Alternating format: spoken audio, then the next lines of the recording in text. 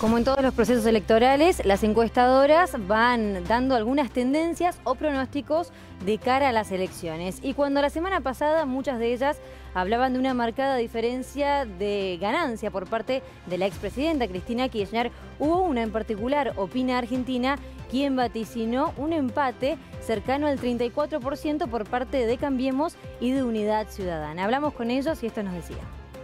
Cambiemos se recibió de oficialismo. ¿Qué quiero decir con esto?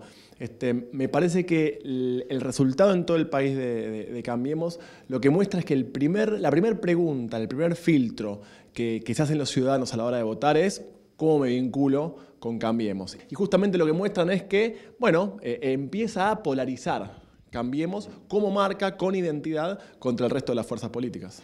La gobernadora tiene una imagen excepcional en el distrito que supera el 50% de imagen positiva, una imagen que además no es solo imagen positiva, es una imagen que para un sector muy importante de esa población es muy positiva, es decir, es gente que tiene, establece un vínculo de mucha intensidad con la gobernadora y que está vinculado emocionalmente a ella. Esa gente no necesariamente vota Cambiemos, Muchas de ellas votaron a, Sergio Massa como candidato a presidente en el año 2015 y me parece que sobre el final de la campaña y con la presencia de ella en la campaña muy fuertemente, casi poniéndose la campaña al hombro, eh, parte del voto de Sergio Massa comenzó a migrar hacia, hacia Cambiemos.